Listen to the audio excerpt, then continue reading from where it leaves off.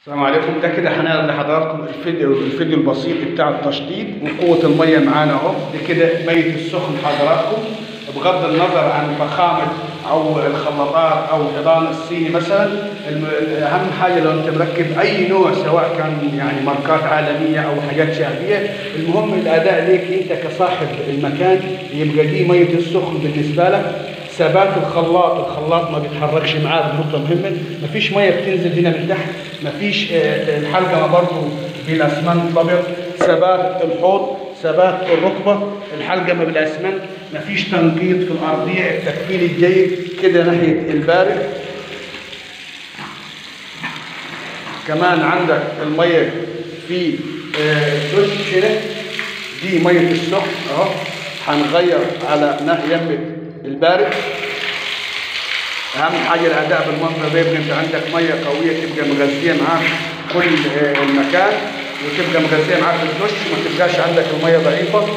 وخصوصا لو مركب جتات أو حاجات زي دي أو وحده شاور أو كده تبقى المية عندك قوية بالمنظر ده. وكده يمة السخن وكده على العادي. وآدي السماعة معانا فوق أهو. مفيش حاجة بتنقط هنا. كل الشغل معانا طبعا كده على السماعة وكده. مفيش حاجة بتنقط خلفية آه، الخلاط. الشطاف معانا برضو.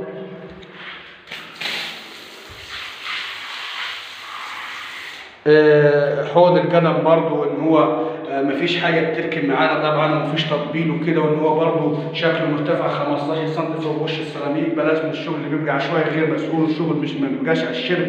فبتلاقي الشاور ده مدفون مع وش الارضيه وكده ده زي ما شايفين حضراتكم مع رغم ان التشطيب شيء بسيط خالص ويعني حاجات بسيطة ولكن التنسيق والتنظيم بتاع المكان هو اللي آه، مخمد لي نقطة جمال زيادة في بالنسبة للحمام أكرمكم الله. طبعا دي قاعدة بلد وعندنا قاعدة فرنجة هنستكمل بها الشغل فيما بعد في وقت قريب جدا.